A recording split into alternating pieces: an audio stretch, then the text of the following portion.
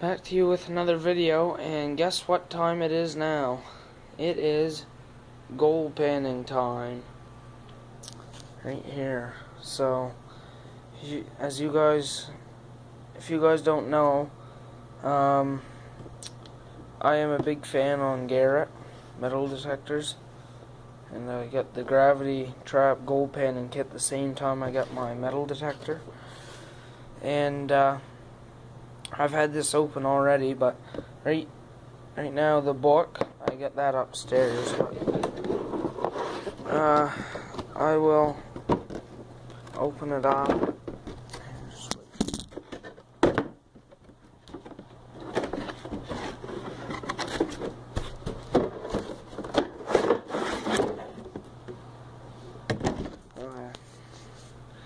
Okay, we get it all out here.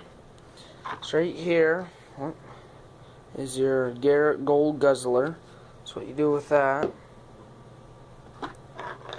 is, yeah, she's been used a little bit.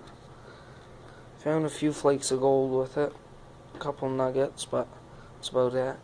So what you do with this is you squeeze it like that, and then when you go like this, supposed to pick up the gold, but uh, I've tried it. It doesn't work too awfully well, but anyway, um, these are right here, a couple uh, vials. And uh, what those are for is for the nuggets. And this right here.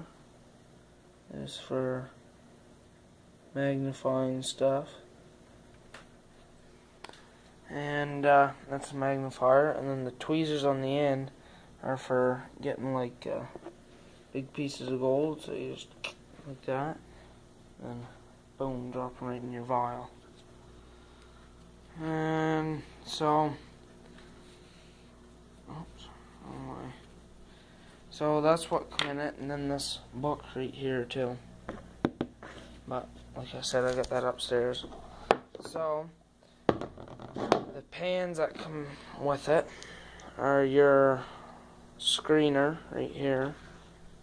She's been used a little bit. Your big pan and your little pan. And also if you guys get one of these on back of the pans, they get a nice drawing here, which is, I think is pretty cool. But, uh, yeah, that's what comes in it, but you can get a bigger set, and there is another pan the size of the big one. This all comes with it, and then another book. There's two books that come with it, and a another big pan and the big pan is for um, is for um, what's it for? Oh, it's for like uh, sifting rocky material and stuff. It doesn't have like the three three ridges like this one does. It's got only like a couple, I think, that are deeper.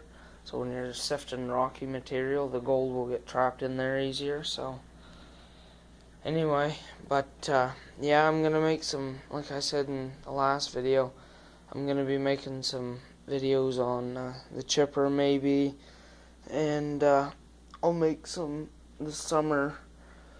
I will make some videos on maybe the uh, my chainsaw that I have, and uh, cutting wood and stuff, and.